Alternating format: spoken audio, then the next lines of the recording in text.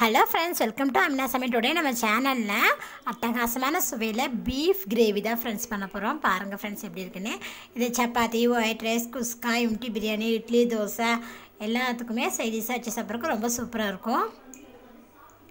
ரொம்ப ஈஸியாகவும் அட்டகாசமான சுவையில் இந்த பீஃப் கிரேவி எப்படி பண்ணலான்னு வீடியோவில் பண்ணலாம் வீடியோவை ஸ்கிப் பண்ணாமல் பாருங்கள் வீடியோக்குள்ளே போகிறதுக்கு முன்னாடி எங்கள் சேனலில் இது வரைக்கும் சப்ஸ்கிரைப் பண்ணலாம் சப்ஸ்கிரைப் பண்ணுங்கள் பக்கத்தில் இருக்கிற பில் ஐக்கன் பட்டனை கிளிக் பண்ணுங்கள் பீஃப் கிரேவி பண்ணுறதுக்கு ஒரு குக்கரில் நாலுலேருந்து அஞ்சு டேபிள் ஸ்பூன் அளவுக்கு எண்ணெய் விட்டுக்கோங்க. எண்ணெய் சூடாக இருந்தவே இதில் ரெண்டு கிராம்பு ரெண்டு பட்டை ரெண்டு ஏலக்காய் ஆட் பண்ணிடலாம்.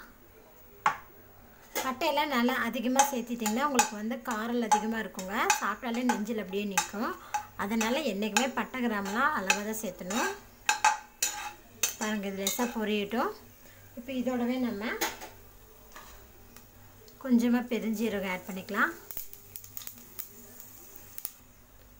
பெருஞ்சீரகம் பொரிஞ்சதுமே இதில் கொஞ்சமாக கருவேப்பிலை. இப்போ இதோட ரெண்டு பச்சை மிளகா பாருங்கள் இந்த மாதிரி லைட்டாக கீரல் போட்டு வச்சுருக்கேன். இதில் ஆட் பண்ணி லேசாக வதக்கி விட்டுக்கலாம்.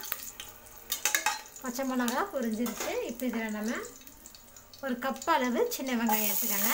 அதை நான் நல்லா சின்ன சின்னதாக கட் பண்ணியிருக்கேன். வெங்காயத்தை நம்ம நல்லா வதக்கி விட்டுக்கலாங்க.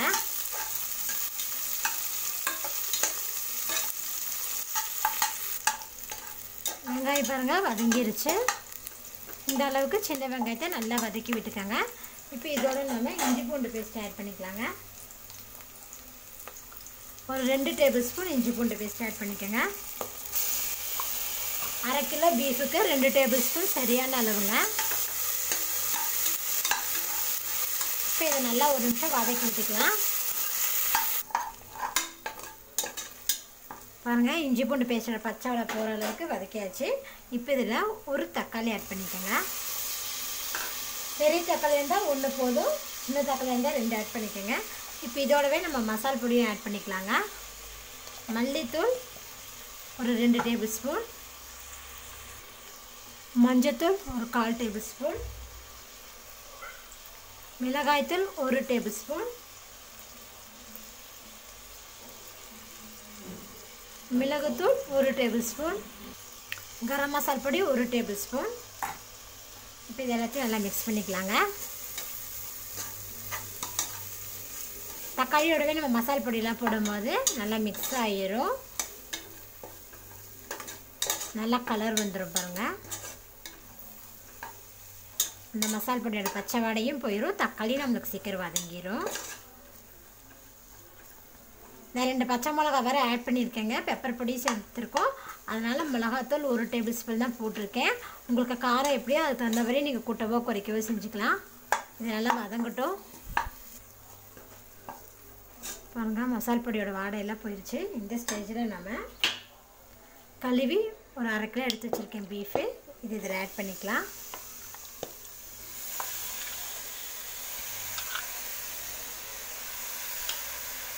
இதோடவே இதுக்கு தேவையான அளவுக்கு உப்பு ஆட் பண்ணிக்கோங்க.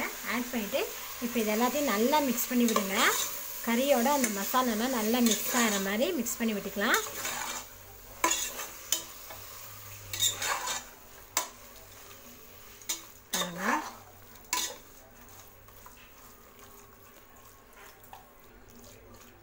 பாருங்கள் மசாலாவோட பீஃப் நான் நல்லா மிக்ஸ் பண்ணி ஒரு நிமிஷம் நான் நல்லா வதக்கிட்டேன் பாருங்கள் இப்போ இதில் நம்ம தண்ணி ஆட் பண்ணிக்கலாங்க.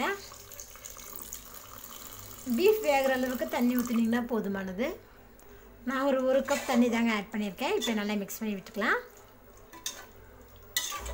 பாருங்கள் நல்லா மிக்ஸ் பண்ணியாச்சு. ஏன்னா பீஃப்லேயே தண்ணி இருக்கும். ஸோ அதனால் ரொம்ப தண்ணி ஊற்ற வேண்டியதில்லை. ஏன்னா நம்ம கிரேவி தானே வைக்கணும் அதனால். இப்போ இதே மீடியம் ஃப்ளேமில் வச்சு மூடி போட்டு ஒரு அஞ்சு விசில் குக் பண்ணிக்கலாங்க. பீஃப் வேகிறதுக்கு கொஞ்சம் லேட் ஆகுங்க. அதனால் நீங்கள் மீடியம் ஃப்ளேமில் வச்சு வேக வைக்கும்போது நம்மளுக்கு வந்து கொஞ்சம் சீக்கிரமாக நான் வெந்துடும் நல்லாவும் இருக்கும். அஞ்சு விசில் வந்தது ஆஃப் பண்ணிட்டேன். பாருங்கள் இப்போ மூடி ரிமூவ் பண்ணிவிட்டு பார்க்கலாம். அடுப்பை பற்ற வச்சு ஹை ஃப்ளேமில் ஒரு பத்து நிமிஷம் நல்லா குக் பண்ணிக்கோங்க.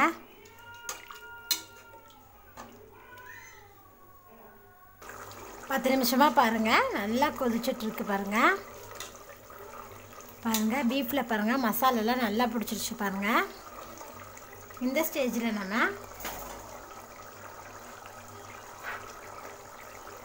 ஒரு அரை டேபிள் ஸ்பூன் போல் பெப்பர் பொடி ஆட் பண்ணிக்கோங்க. நல்லாயிருக்கும் இதோட கொஞ்சமாக நறுக்குன்னு கொத்தமல்லி தலை அதோட கொஞ்சமாக கருவேப்பிலை. இப்போ இது எல்லாத்தையும் இப்போ ரெண்டையுமே போட்டதுமே நல்லா மிக்ஸ் பண்ணிக்கலாம் ஒரு டைம் அவ்வளோதாங்க பாருங்கள் எண்ணெயெல்லாம் தெரிஞ்சு நல்லா மேலே வந்துருச்சு. நம்மளோட சூப்பரான பீஃப் கிரேவி ரெடி ஆச்சு இப்போ ஸ்டவ் ஆஃப் பண்ணிடலாம்.